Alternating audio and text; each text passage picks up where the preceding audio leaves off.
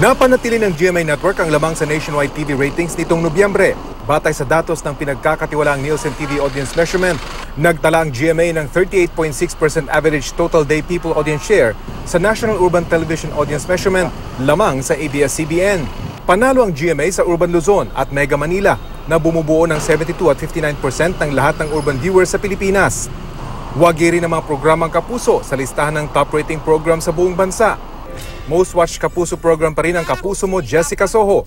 Sinundan ito ng Pepito Manaloto, 24 oras, Daddy's Girl, Daig kayo ng lola ko at O Nanay.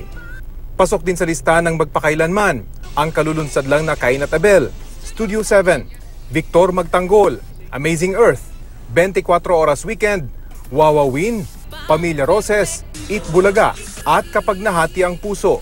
Tinatayang siyam na raang mas marami ang sampled homes nationwide ng Nielsen TV audience measurement kumpara sa Kantar Media.